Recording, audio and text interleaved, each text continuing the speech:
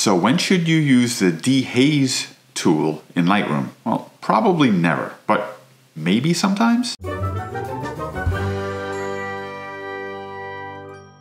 So a few years ago, Lightroom added the dehaze tool, and you can find it there in the presence section with the clarity, texture, saturation, vibrance, and it really is a powerful tool. A slight adjustment in either direction can make a big difference to your picture. But you gotta be careful how you use it. You know, Bill and I really don't like editing too much. We usually basically kind of go as far as we can in some situations and then always dial it back just a little bit so it doesn't have an overprocessed look. And if you use this tool, if you use the dehaze tool, you really can end up with an overprocessed look. So let's take a look at some examples of using the tool on just ordinary images when you really wouldn't want to use it, and then a couple of situations where you really do want to use the dehaze tool. So basically what the dehaze tool does is it, it adds a lot of contrast, it darkens some of the image, it adds saturation, it does all kinds of things, but it's a really a heavy-handed slap to the entire image. So let me add just a little bit of dehaze to this, this image here. And you can see even with a plus 15, 16, it's already getting a lot more edited. You know, it has a, a, highly edited look to it. And as I slide it up even further here, it gets even worse. It looks like, you know, a kind of a garbagey, over edited image. Let me bring it back down to zero.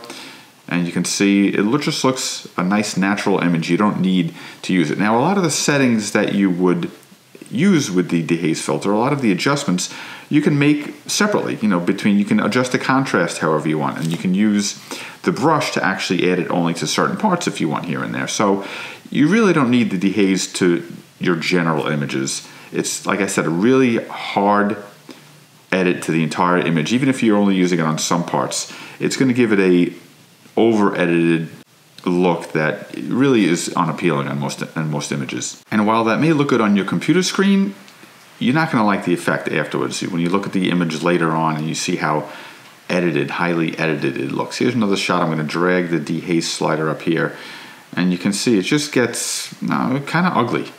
It doesn't really have the natural feel that you want an image like this to have. But when do you want to use the dehaze filter? Really, there's two or maybe three situations that you want to use it.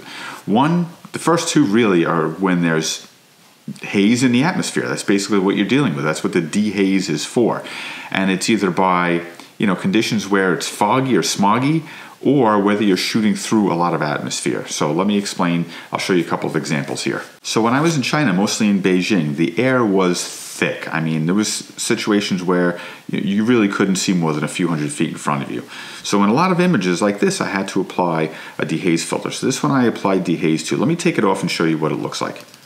This is without the dehaze filter. So basically, a lot of my images were like this. It was just kind of a blanket fog over everything. So even with the dehaze tool used here, I was able to capture a lot of the details in the bricks and everything, but still there was nothing I could do about the background. The background was just totally blown out smog. I couldn't get any of the details here. And that was with a lot of the shots that I took there.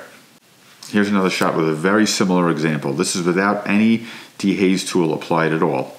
And I can apply the dehaze tool here and you can see there's nothing I can do about the sky, the background. It's just all blown out white, but I'm able to capture all the detail in the buildings and the trees. Here's a shot from the city of Xi'an where it was less smoggy there. Uh, this shot is without the dehaze tool applied, and I'm, let me apply some dehaze here, and you can see it makes just enough difference. It kind of cuts the haze out of the foreground. The haze that's left in the background is kind of atmospheric, a little bit nice, gives the picture a little bit of depth. So I like it there, but I like cutting that dehaze out of at least the foreground. So that's use number one. If you find yourself in hazy, smoggy, foggy conditions, it really cuts through that and brings out a lot of the detail in your shot. And so a second situation where you're going to want to use the dehaze tool is when you're shooting through a lot of atmosphere. So even if the atmosphere isn't smoggy or foggy, if you're shooting a telephoto lens, something that's very far away, you're shooting through a lot of air.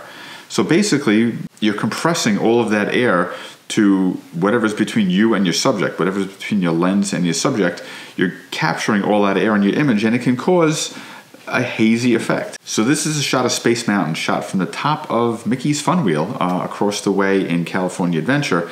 And without the dehaze tool here, you can see everything's got kind of a washed out look to it. Let me put the dehaze filter back on and you see at least what's in the foreground sharpens up. You can see the detail there. The haze still exists in the background, which is kind of nice. You can kind of see how it's layered there, trailing off into the background, gives the image a, a sense of depth.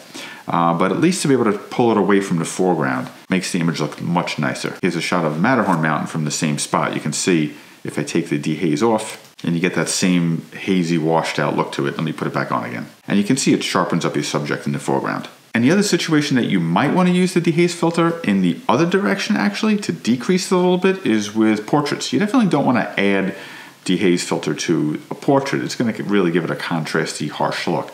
But dragging it back in the other direction can give it a little bit of a nice, softer, dreamy look to it. Here's a shot here without any dehaze applied to it. And I'm just going to grab the slider and drag it to the left a little bit uh, you can see it kind of gives it a nice, if you're going for that effect, if you're going for that sort of a washed out, bright highlights, white, dreamy look, that's what you're going to get here. So in certain portraits, it can actually look very nice. So you can use it, but use it sparingly. I find basically the only time I really use it is when I'm trying to get through an image and at the very end, it's the last thing that I'll do. I'm just not happy maybe with the uh, the clarity of the image or the details, and I'll just I'll put a plus 10 on a dehaze slider, and that'll make the difference sometimes. So again, it's a very powerful tool. Know how to use it, when to use it, and it could be a great part of your editing, especially shooting in difficult foggy, hazy situations. So I hope you found that interesting. We're going to put a couple of videos here to other Lightroom editing tips and techniques and stuff. You can check those out.